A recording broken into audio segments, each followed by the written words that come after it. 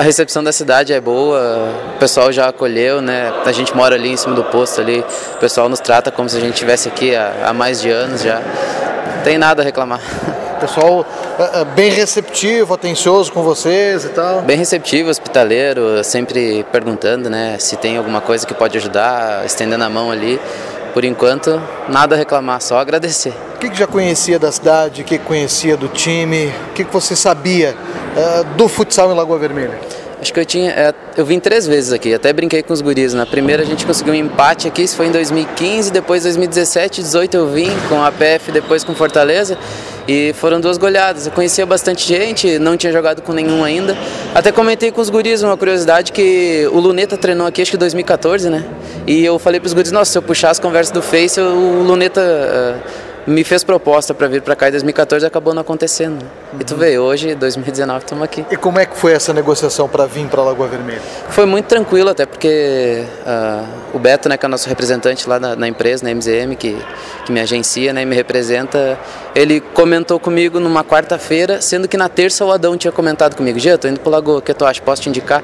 Eu disse, não, pode, a gente conhece, sabe da estrutura que tem aqui, né? Uh, e que seria um é um time que que que está aspirando todo ano é, essa subida aí no fim está batendo na trave mas a gente confia que a gente veio para o ano certo e que esse ano vamos escrever uma história bem bonita aqui dentro já conheceu o Adão tinha trabalhado com ele em algum momento já em duas oportunidades 2015 e 2014 15 e 17 três na verdade uhum.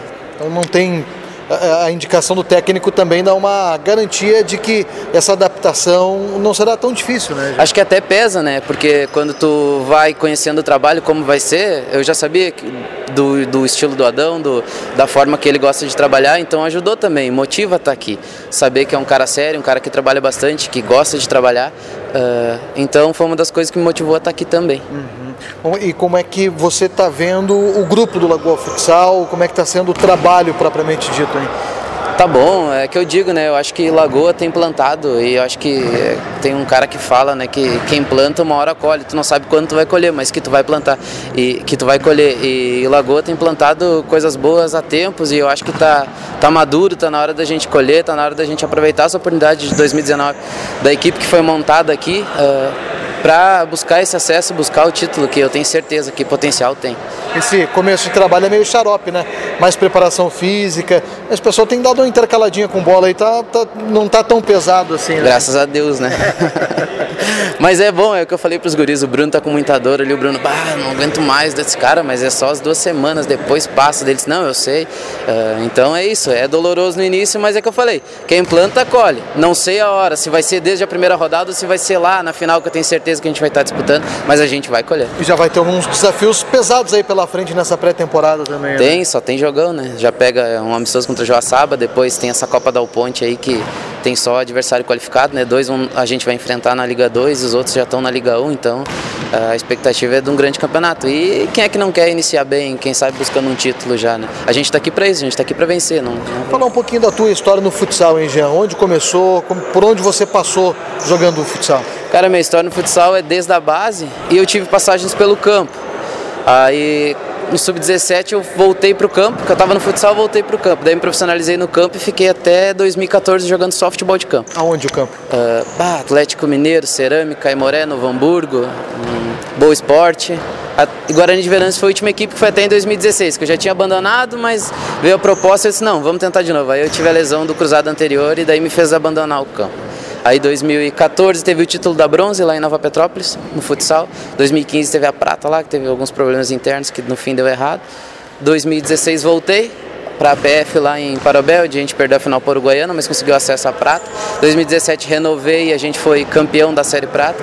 E ano passado, 2018, estava em Fortaleza, né? Também teve alguns probleminhas, mas essa é a história, abreviando. o porquê da opção pelo futsal, né? Saiu do campo e veio pro futsal. Sabe, foi uma briga na minha casa no dia que eu falei que eu não queria mais jogar futebol de campo, sabe? Teve choro e tudo, assim, pai, mãe, pô, lutamos tanto, né? E tava, tava embalado, mas uh, é que eu digo, quando eu acho que a coisa não te dá mais prazer, não tem porque tu tá. E o campo não me dava mais prazer. E no futsal eu reencontrei esse prazer de jogar bola, sabe? Então foi o que pesou para estar tá hoje jogando de tênis e não de chuteira. O que, que, você acha de mais importante nas tuas características dentro de quadra, hein, Ah, cara, entrega com certeza, pode me cobrar. vocês vão ver, eu, não, a entrega com certeza é a principal, mas uh, tem boa finalização, tem sou de drible também, passe. Uh, do meio para frente é um pouco melhor que do meio para trás, vamos entender assim. E o que que uh, vocês, atletas, esperam que venha da arquibancada, hein? Ah, o apoio, né? Diz que quem estava aqui nas quartas de final disse que estava lotado, que estava bonito. E a gente pede pro torcedor que desde o primeiro jogo lota, lota que eu tenho certeza. Vou repetir de novo. A gente, Lagoa tá plantando e eu tenho muita certeza que esse ano é o da colheita. Boa sorte. Obrigado, para nós.